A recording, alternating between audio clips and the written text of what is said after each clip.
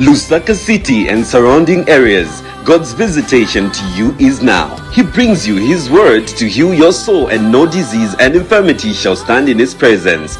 Bring the sick and the afflicted for a total deliverance. The crusade, organized by the End Time Message Pastors in conjunction with Geshen Ministry, shall be held at Hebron Tabernacle Church grounds next to Nissan Motors along Kafue Road this Friday to Sunday from 15 hours daily. Tell a friend to tell a friend. Come experience God in power and demonstration of His word which never faileth. Miracles still happen and God has remembered you. For more information, you can call our help desk on 0978 690694 and 0977 759447 or follow our Facebook page at Hebron Tabernacle. See you there.